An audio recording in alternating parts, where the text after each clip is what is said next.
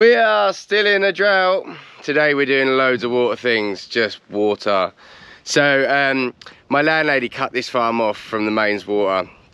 I think she's trying to save the planet or something. Now we have to put an IBC on the back of the truck and then you see these two tanks here. There's a pump, a ram pump down in the, the valley down there that's on a stream and it pumps it up that yellow pipe fills up these two water tanks. Got a nice uh, pond to overflow into for nature and um, we have to draw water out of there. And then we have to go around and put it in the water tanks around the farm. Now does that sound like a lot to do? Yeah because it is. Drives me absolutely mental. Wish we'd never done it. Would happily pay for the water. Anywho here we are. We're also cleaning out water tanks because after the winter the sheep don't usually drink a lot of water in the winter and then all the leaves and crap fall in it and we're cleaning all them out so the lambs have nice fresh water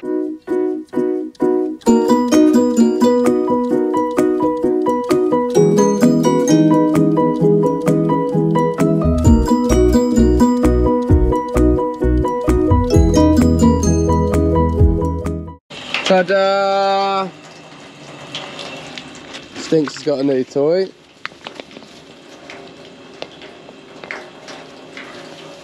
Lovely. And uh, we're shearing a few lambs.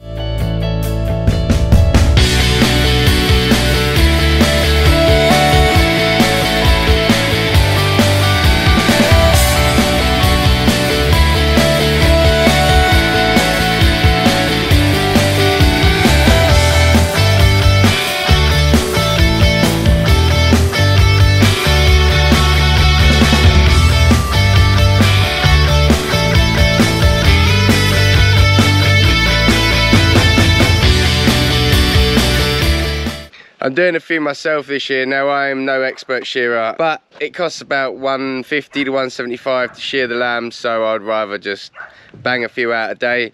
Um, started with our lambs that we've got in.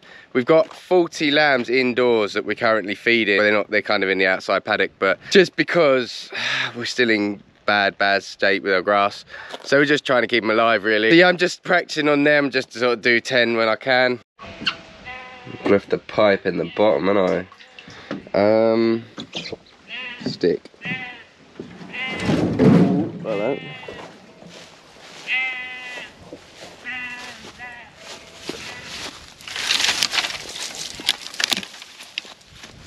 Ah.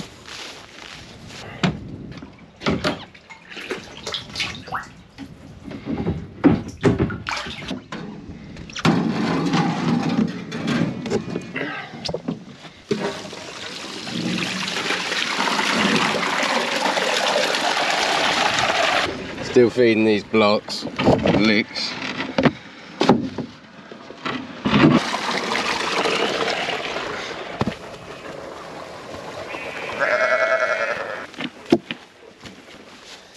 Getting through the hay as well.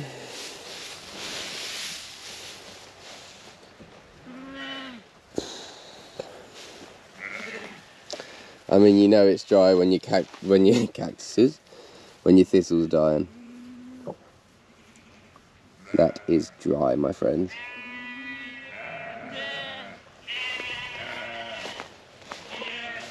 Lambs are looking quite well. The ewes, not so well, but they're trying to bounce back from the haemonchus worm we had, and they just can't get any food from anywhere, literally. Um, you see all these uh, trees here that have come down where they've broken. I'm tempted to start sawing these up because there's quite a lot of grub on them. Um, it seems like a lot of work though, for probably not a lot, but I mean, where that's split off there, we just cut that and just cut them off. It's quite a lot of food for them. You know you're desperate when you're doing that. It's just a bit rough to see, isn't it? It's like everything you look after and you think about 24-7 constantly is just hungry and it's not nice. There's not a lot you can do. Oh, we're overflowing now.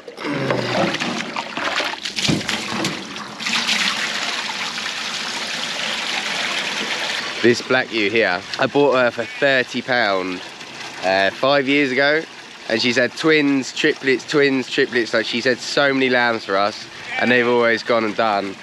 And this year she had a single and uh, she's been a bit plain and to me that's a sign that's her last lamb. But we're gonna keep her lamb. The legacy lives on. Absolute hero. If I could have 500 of them done all day long. Sold. I'll take them.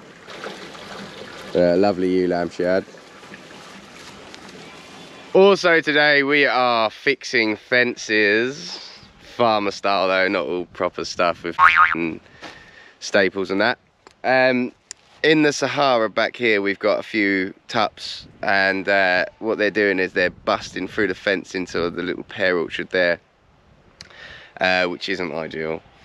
So along there somewhere, there is a hole in the fence and out there somewhere, I've got a few hurdles because we basically uh, land in this field and we use like a little pen. When the ewe hogs didn't want their lambs or something, we'd pen them up just in the field out there.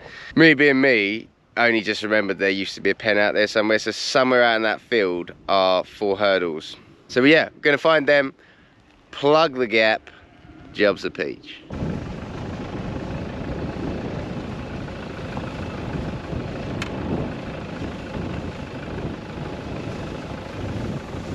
somewhere over. I ain't got a clue. Um,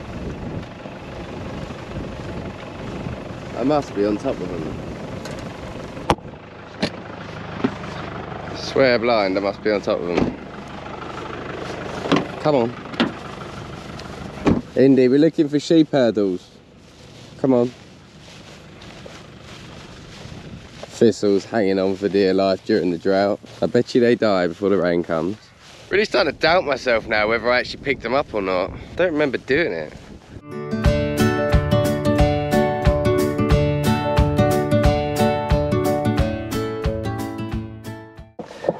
Think we're gonna have to have a change of plan. Plan B. Let's go. Too hot for dogs.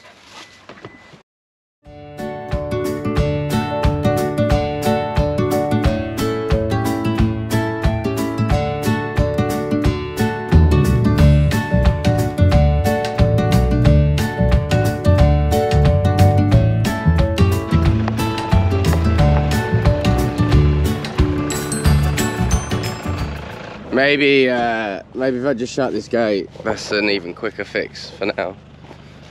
We'll find some gates.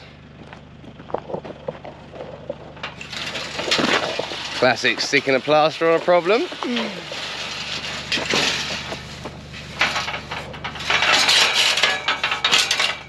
Broke ass. Thank you for watching my YouTube. Don't forget to subscribe and hit the like button. It all helps.